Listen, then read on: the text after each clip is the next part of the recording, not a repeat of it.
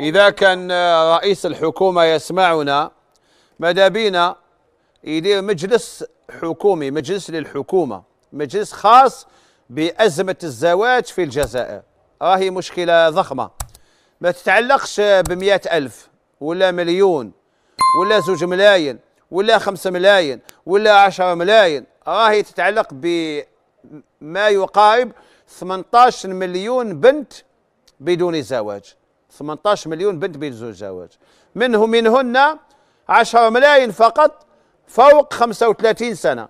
يعني أزمة اجتماعية اقتصادية سياسية نفسية تؤدي إلى الانتحار تؤدي إلى عدم استقرار البلد لأن رجل غير مستقر وشعب غير مستقر يعني بلد غير مستقر.